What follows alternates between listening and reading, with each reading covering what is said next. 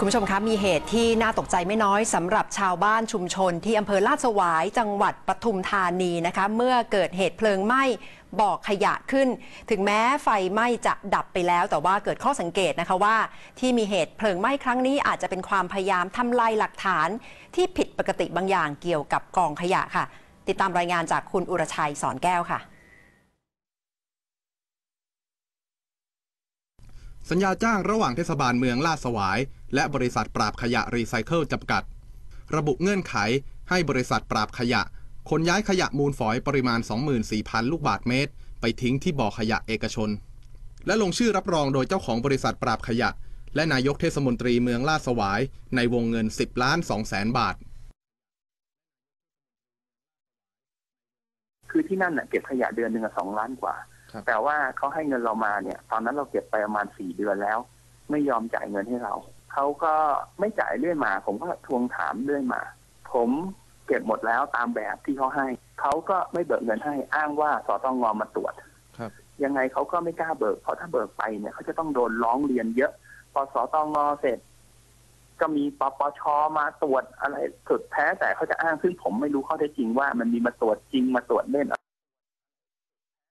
แต่นายกเทศมนตรีเมืองลาดสวาย ปฏิเสธข้อกล่าวหาเรื่องทุจริตงบประมาณกำจัดขยะ ยืนยันว่าได้จ่ายเงินบางส่วน ตามรายงานที่ได้รับจากผู้ควบคุมงาน และยืนยันว่า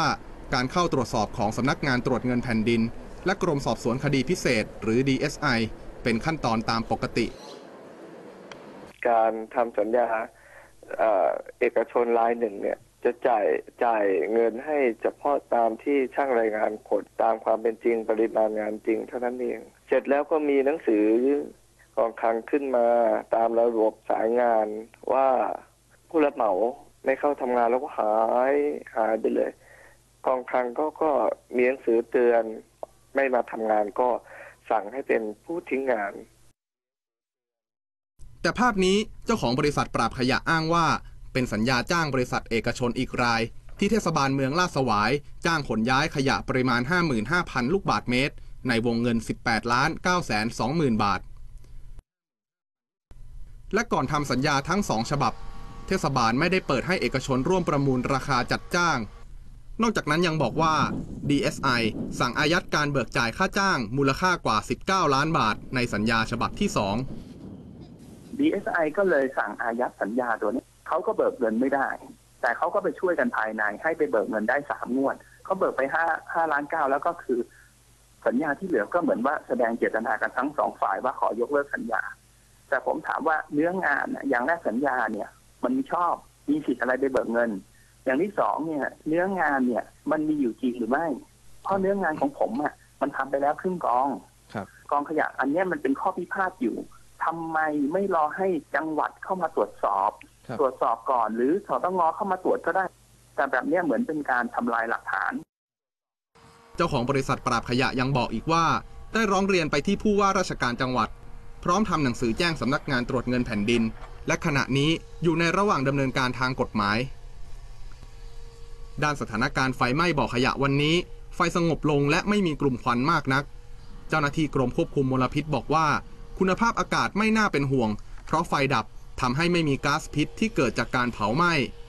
ขณะที่ชาวบ้านตำบลลาดสวาย ที่พักอาศัยไม่ไกลจากบ่อขยะ ตั้งข้อสังเกตถึงเหตุการณ์ครั้งนี้ ว่าเกิดจากไฟไหม้ป่ากก ที่ติดกับบ่อขยะจริงหรือไม่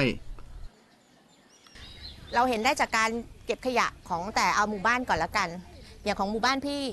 ตอนทีมทีมเก่าอยู่ก็ยังเก็บทุกเดือนนะคะเดือนหนึ่งอาทิตย์หนึ่งเนี่ยอย่างน้อยครั้งถึงสองครั้งนะคะ แต่ตั้งแต่ทีมทีมงานใหม่เข้ามาเนี่ยหมู่บ้านไม่เฉพาะหมู่บ้านพี่ก็คือกลายเป็นการจัดเก็บต่อวันต่อเดือนต่ออาทิตย์นี้ลดลงเยอะมากนะคะแล้วก็ทำให้มีปัญหาคือขยะตกค้างในพื้นที่นะคะ ส่งกลิ่นแล้วก็ทั้งเชื้อโรคอันนี้เห็นได้ชัดเลยนะคะ นายกเทศมนตรียืนยันว่า มีโครงการสร้างโรงงานแปรรูปขยะเป็นพลังงาน เพื่อลดปัญหาการสะสมของขยะ แต่โครงการนี้อาจใช้เวลาหลายปี และการแก้ปัญหาเบื้องต้น ยังต้องใช้วิธีขนย้ายขยะไปที่บ่อเอกชน